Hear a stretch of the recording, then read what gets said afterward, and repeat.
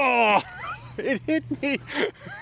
Hi everyone, so in this video I'm going to have a look at the Wltoys 12408 which is kind of a hybrid between MJX and Wltoys parts so let's see whether it's the best of both worlds.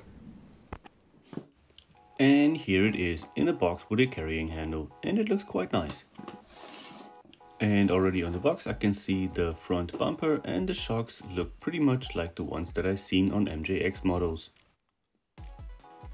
On the back you can see some of the specs that you can expect. Let's open it up.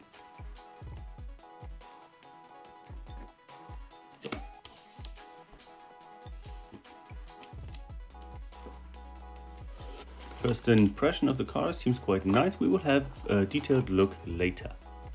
The manual, please read it. A 3S charger, and here we have in a hard case the 2000 milliamp hour battery. And since the charging ports are tucked inside, you cannot just use any charger. Your hex tool. And no screwdriver. Alright, let's get out the remote. Um, I'm not the biggest fan of this remote. It is okay and one-handed steering works well. You have steering trim, you have throttle trim, you can put AAA batteries inside, which for some luck I have a lot. I will have to adjust the steering trim later. There's also a built-in holder for your smartphone, which I think is useless. The lid for the battery compartment has a hinge, so you won't lose it that easily. Since we're already using MJX parts, why not take the remote control? Now for the buggy itself.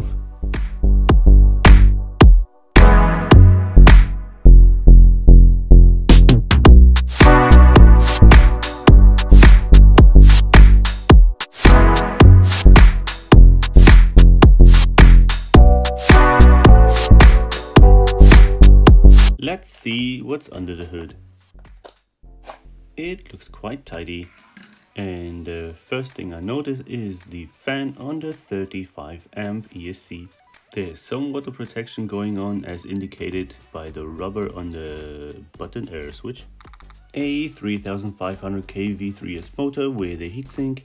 The Deans RT plug is held in by a screw so you can easily shove the battery on top of it. There I see some free sockets where you can probably run your lights or another fan. Underneath the power switch you find the servo with a long plastic servo link. I like how the battery is secured in this one. The mechanism is quite stable and it works for most of my batteries. The toe of the front tires is adjustable. We have an alloy front bumper which is not as flexible as plastic but so far I didn't break one yet. Oil filled shocks, the whole drivetrain is made of metal, which is audible. The uh, RC seems to have a good mix of metal and plastic parts, where the plastic flexes and we have the durable metal. Underneath it appears that we have an extended chassis from an MJX Hypergo, which is also very durable. The center driveshaft has this beautiful red color. Now for the shock test.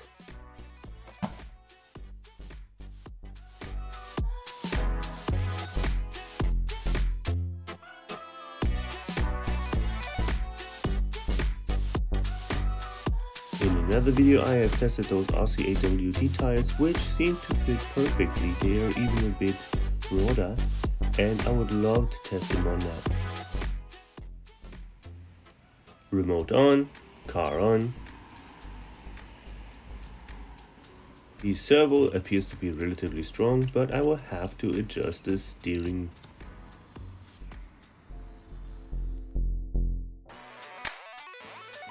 set, let's go!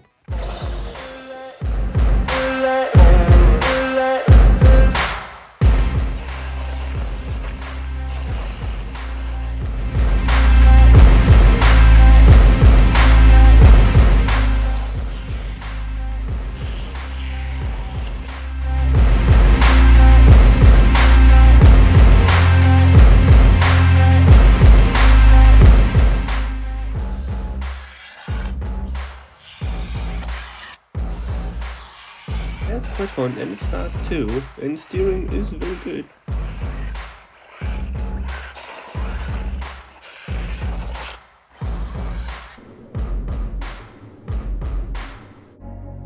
Next up are the RCAWD tires.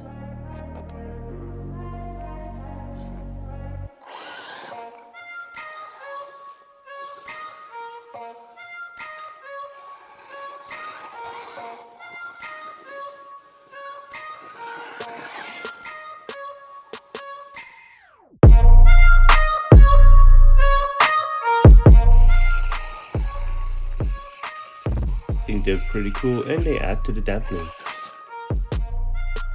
RCAWD Monster Truck Tires.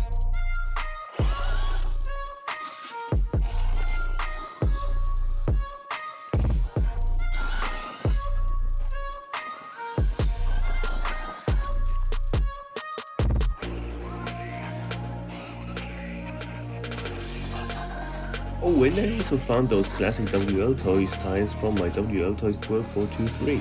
Let's give them a run.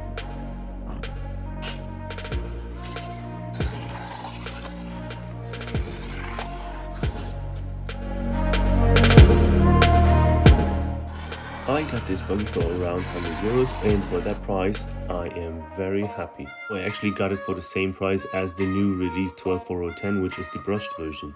So I guess if you wait, you will get the brushed version even cheaper soon. I hope you enjoyed the video. If you did so, give it a thumbs up and consider subscribing if you haven't already.